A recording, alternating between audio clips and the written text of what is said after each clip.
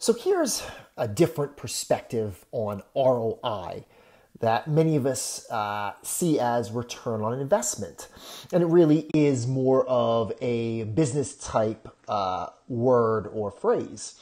But let's look at it from an education lens. And I want you all to think about this.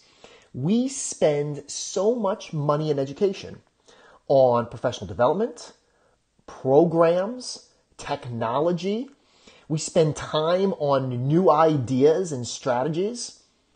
What is the resulting impact? So, what I want you to think about this is as we flesh out this concept of return on instruction, when we spend money on technology, professional development, programs, when we spend time on ideas, strategies, new approaches, there needs to be a return on instruction that results in evidence of improved learning outcomes.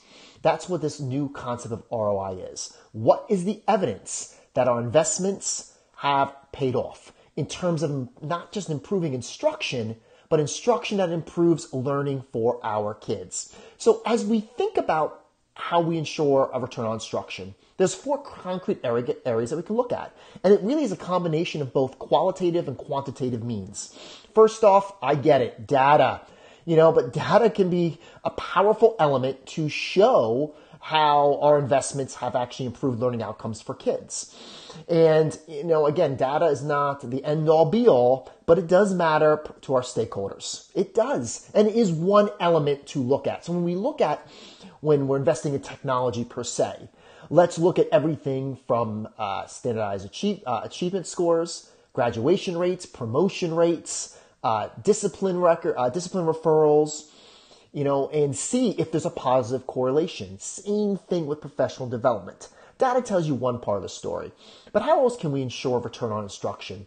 How about observations and evaluations? You know, are we actually getting in classrooms, having those conversations, whether they're evaluative or non-evaluative, to go in and see if there's changes to practice with the investments in technology and professional development and programs. We can also look at artifacts. You know, when, again, I use technology as an example because we invest so much money in it or on it. Well, when we think about artifacts, okay, let's look at has level of questioning changed? Are we scaffolding? Uh, has student work changed? Has assessment changed?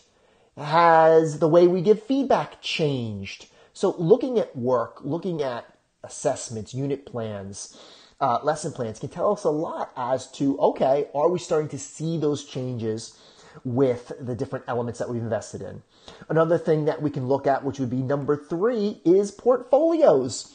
Portfolios combine the artifacts by showing growth over time, showing changes over time.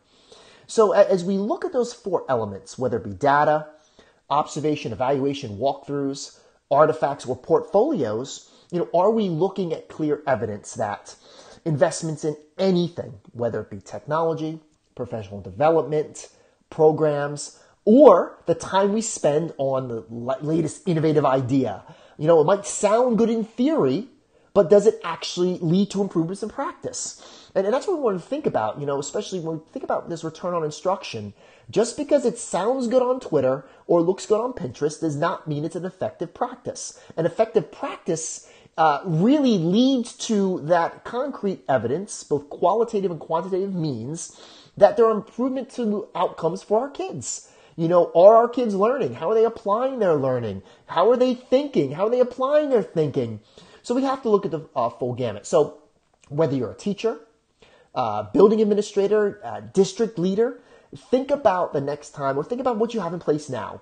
Think about what you might want to put in place and start fleshing out a plan for how you're going to ensure that return on instruction.